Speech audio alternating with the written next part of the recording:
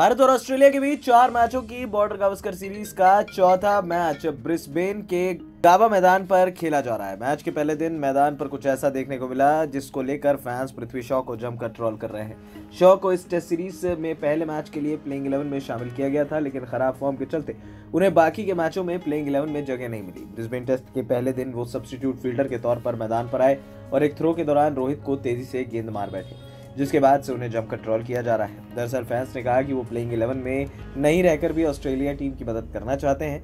Team India पहले ही खिलाड़ियों की चोट से जूझ रही है और अगर ऐसे में पृथ्वी शॉ के थ्रो से रोहित चोटिल हो जाते तो ये टीम इंडिया के लिए सबसे बड़ा नुकसान साबित होता।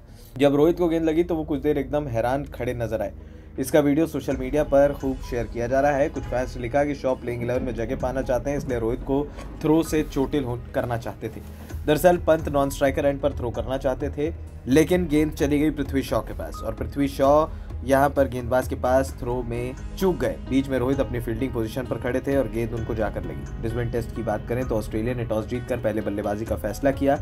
वहीं पहले दिन का खेल खत्म होने तक ऑस्ट्रेलिया पाँच विकेट पर दो सौ चौहत्तर रन बना चुका है।